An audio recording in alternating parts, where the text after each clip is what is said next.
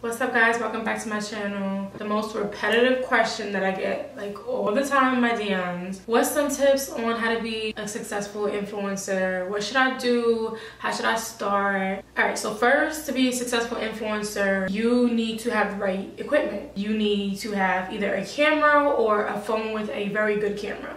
You cannot have blurry pictures, you cannot have content that's like not good lighting. Like, a lot of people be calling themselves an influencer and you cannot just call yourself an influencer. Like it doesn't work like that, okay? You have to start off with just being a regular person that a person can relate to and then the more and more people can relate to you, you build a bigger and bigger audience. And then once you build that bigger audience you have people that actually feel like you impact their life, that's when you are an official influencer that's when you can say, okay, I actually influence a large group of people. Like a lot of people just be putting influencer in their bio and they're like, what do you, excuse, excuse me?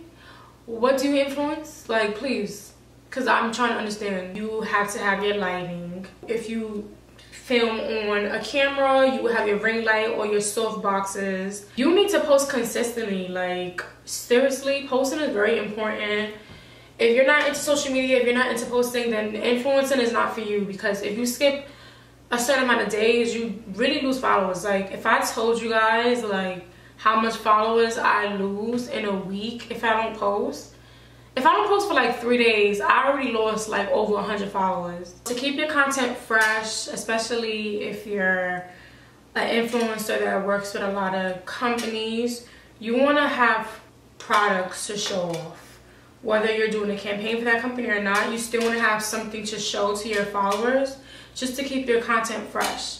So to do that, I recommend joining a lot of PR lists. PR lists are essential, okay? If you are a fitness influencer, beauty influencer, fashion influencer, it doesn't matter. There's different types of brands and companies for different PR lists. If you're a beauty influencer, of course you want to be on PR lists for a lot of different makeup companies. If you are a fashion influencer, you will be on a PR list for clothing company brands like Forever 21, Fashion Nova, things like that. Now, you're probably wondering, how do I get on PR lists? Like, okay, sometimes when you're already an established influencer, they just contact you through email. Now, if you're not that big, but you feel like you still have potential, it's okay. You can still, like, get the possibility of joining. All you have to do is go to the website, like whatever company it is that you want to be in their PR list, you go to their website, you go all the way to the bottom, you're going to see like a contact us button, and you're going to email either the general support email that they have there, and you're going to tell them that you would like to be part of their PR list, tell them what you do, tell them what you're about, and if they like you and they like your content, they'll direct you to the right person for PR or sometimes they already have like the PR email in the contact us section and you could just DM that person straight right away. When you go to networking events, you have to, have to, have to talk to the people that's in charge.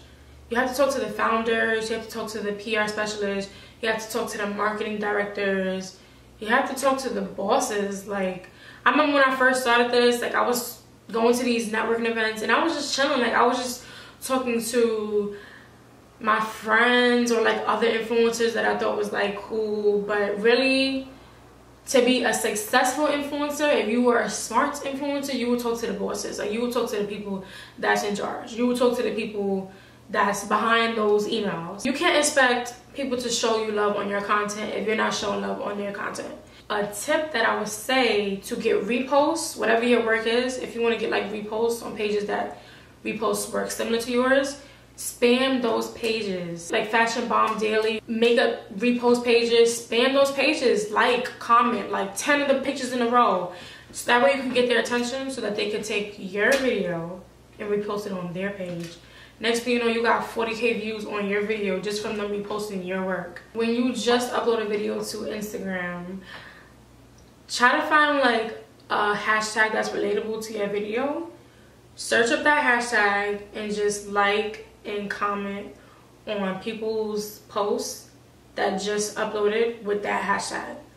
Those people are currently active.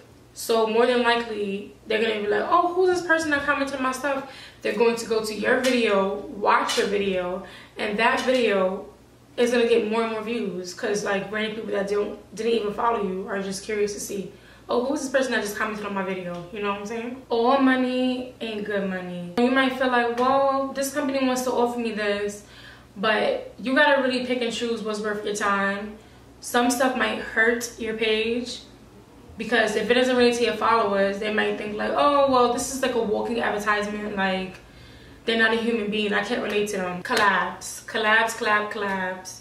Whether it's a YouTube collab, an Instagram tutorial collab, even like a live. Like you could do a live with another influencer that has similar content to yours, and you guys could just talk, and then you guys, followers could just be exchanged, and they just like get intrigued with you and now you just gain new followers because this person introduced their followers to you talking to your followers is so important the more you talk to them the more they feel like they can relate to you like when i first started doing instagram and youtube and doing tutorials and being a beauty influencer. I did a lot of beauty. And i didn't really talk much to my followers. And i noticed that whenever i did videos where i was talking to them they would dm me more they would comment more i would get more engagement. So if you're that person that don't like talking, start doing it because that's going to make you more successful. It's going to make people trust you more, feel connected to you, want to watch your stuff, want to hear from you, do lives, posting your Insta story every day, get on Twitter. Like even my, even me, like I'm doing bad with Twitter. Like I haven't posted on Twitter in so long. And my other influencer friends are like, you need to get on it. And I really do because that's another way for people to relate to you because Twitter is technically like a diary, a public diary. Have business cards, especially the more like established you get in it. You're gonna get invited to a lot of events, okay? You're gonna be in rooms with people that you would never think to be in the room with. You're gonna see celebrities that you see on TV. Get a PR. You need somebody that's gonna get you in magazines, newspaper articles, somebody that's gonna get you on panels so you could be talking as a panelist somebody that's just going to really get you out there okay and make you look like my client is somebody to talk about. All right guys well i hope you guys enjoyed my video. This is like a highly requested video. You guys are always asking me this so i hope i answered all of you guys questions. If i missed anything leave a comment below. If you're new to my channel subscribe. Thumbs this up if you liked it. Catch you guys later